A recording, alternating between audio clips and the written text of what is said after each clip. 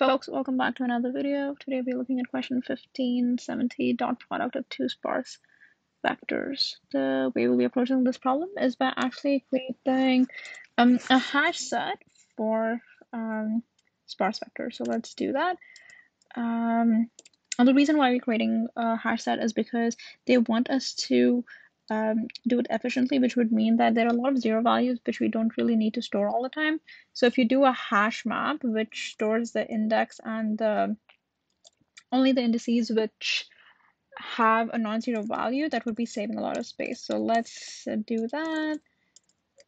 So each um, sparse vector would have a hash map of for itself and and the way you'd be initializing it is um, as soon as you enter the constructor you'd you will initialize a hash map and then you would put all the values uh, in the hash map if it's a non-zero value. So for int num in nums um, let's do this int i equals zero. So this would be the index.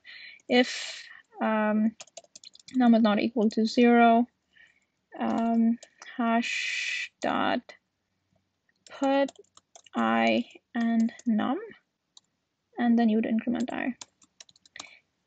So what are you doing here right? You're just initializing a hash for every single sparse vector and you're adding all the non-zero values into the map and the key for each of them is the um, the index.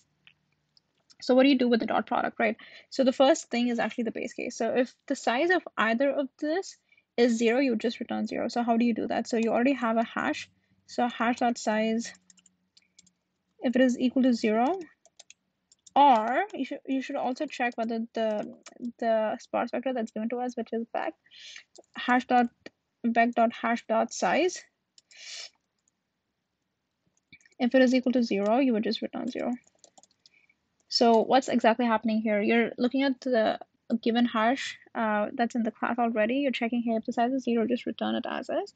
Or if the new sparse vector that's given to us, you're trying to access the hash of that particular sparse vector and you're checking the size is zero. If it is, you return zero.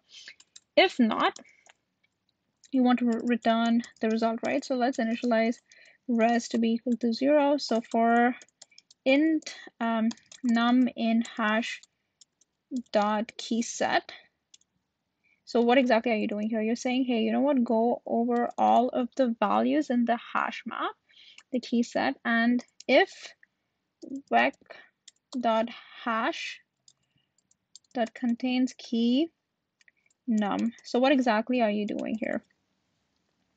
You're iterating over all the indices in the hash map which have a non-zero value, right? And you're checking if um, the hash of the given uh, uh, sparse vector also has the same indi index. So what exactly does that mean? That means you're looking at two sparse uh, uh, vectors and you're checking, hey, if the indices, the current index that you're looking at, if they're not equal to zero in both the cases, that's when you actually need to multiply them and add that to the result.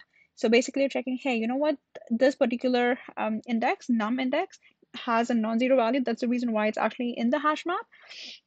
And you're checking, hey, since this is not zero, can we multiply it by uh, the sparse vector, right? So what are you checking? Looking at the hash of the new sparse vector and checking if that uh, index exists as well. If it does, that means both of these um, indices are non-zero, so you can multiply them. So it would be res would be equal to um, hash dot uh, hash dot get uh, num uh, and you're multiplying it. So it would be vec dot hash dot get num. Awesome. So you just add that and then in the end you would return res. Awesome. So let's compile this and see if it's okay. Hmm.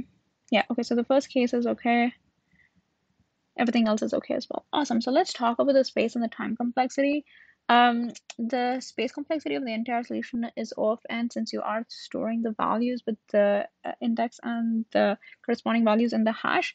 And the space complexity for this function is of n since you are taking the time to go through all the values and add, add that to the hash map. Same goes here of n since you are taking all of the values and adding that uh, or calculating the uh, the result. Awesome. Uh, if you have any questions about the problem, please let me know in the in the comments below. Don't forget to subscribe to the channel and like the video. I would really appreciate that. It definitely motivates me to make keep making more videos. Um, thanks so much, and I'll see you all in the next video. Peace.